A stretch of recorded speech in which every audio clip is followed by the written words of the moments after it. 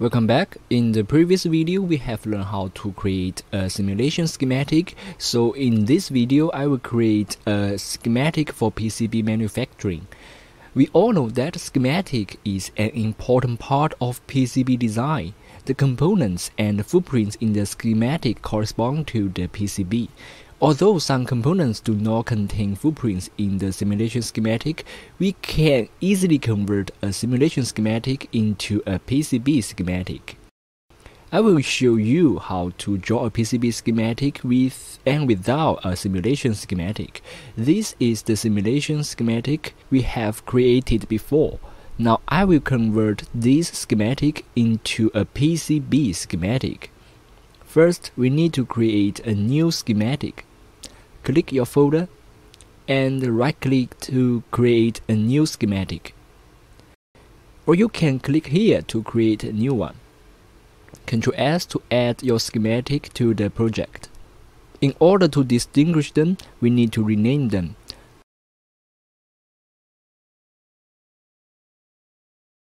Underscore SIM stands for simulation schematic. The naming of the other one is the same underscore SCH stands for PCB schematic. Click and delete the sheet. Ctrl A to select all, Ctrl C and Ctrl V. Delete the simulation time. For this power supply, we can choose the components in EELib to replace. Here we can choose a USB socket to replace the power supply. Use the pull-down menu to choose a different type of USB socket.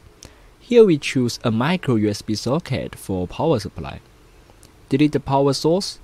Place a 5V and GND NAND flag.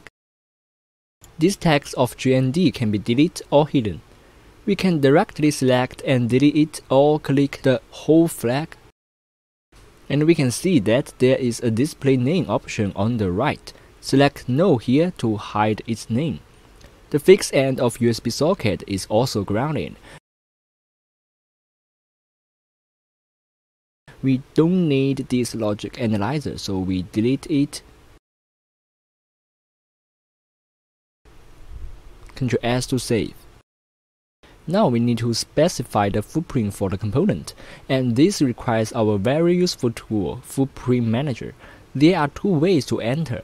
The first way is to select any component on the schematic. There is a footprint text box on the right. Single click and you can enter the footprint manager. Or you can click Tools, Footprint Manager. We can notice that there are four LEDs, but for this schematic, we can only find two of them. This is because the other two LEDs are in the simulation schematic. However, we don't actually need a simulation schematic for PCB design, so here we need to disable it. Select any component in the schematic and we can see there is a convert to PCB option on the right. Select no here. Press and hold Ctrl for multiple selections and do the same for the rest of the components.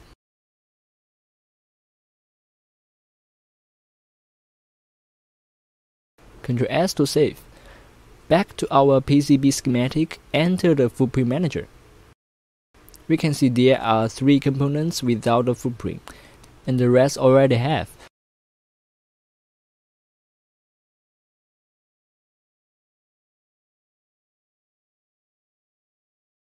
We can copy the footprint name, paste, and search here. Click this one. Let's check if the pins are correct there is a problem. This pin should be connected to the emit pin. And we can correct pin configuration here. Now the pins have been matched.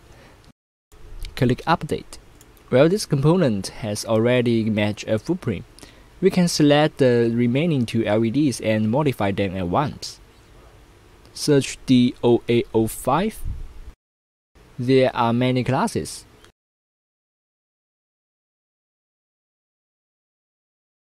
But we recommend choosing the LCSC. Choose this one. we can notice that its cathode and anode are reversed, and we can modify it here. Click Update. Now all components are matched with footprints.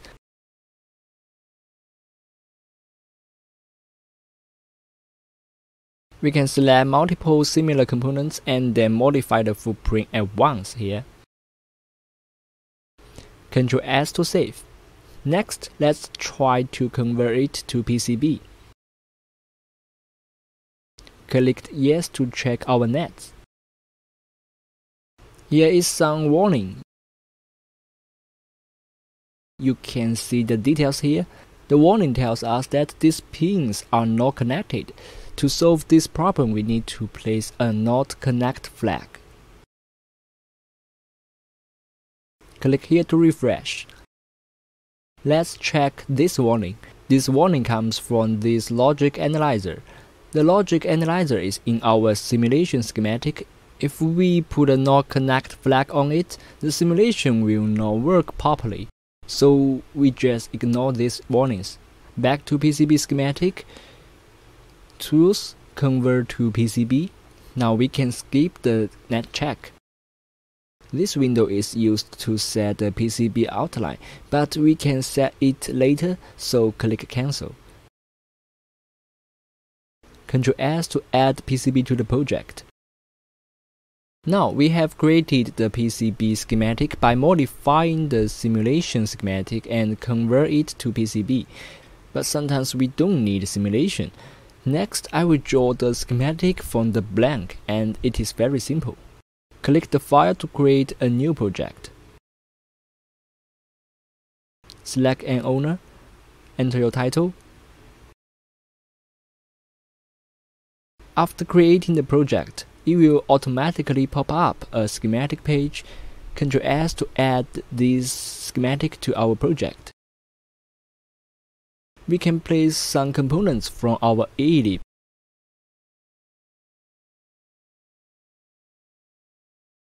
Use the pull-down menu to choose a different type of component. Here I recommend a good way to choosing component, that is search in the library. For example, we need a 200 ohms resistor. Choose LCSC Electronic as the search engine.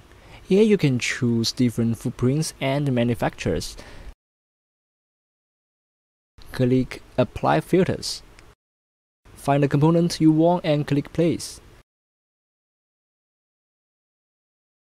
Then you can place it on your schematic. And after exporting the BOM or bill of material, you can use the BOM to purchase directly at LCSC Electronics. Let's draw this schematic for demonstration. There needs a resistor, capacitor, LED and transistor we can directly search here. 10k ohms resistor.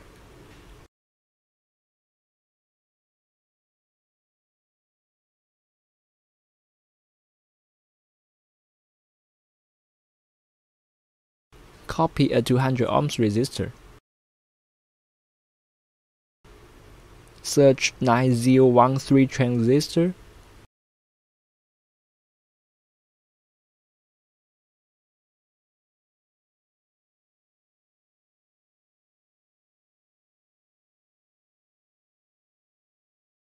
one hundred microfarads capacitor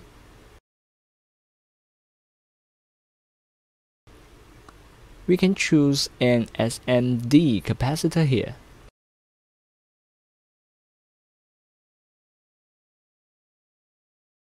We also need a USB socket for power supply.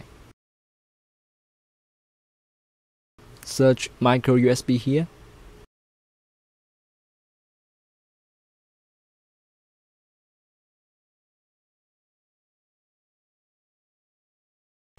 After wiring up these components, then you can convert this schematic to the PCB. In the next video, I will show you how to design a PCB layout. Goodbye.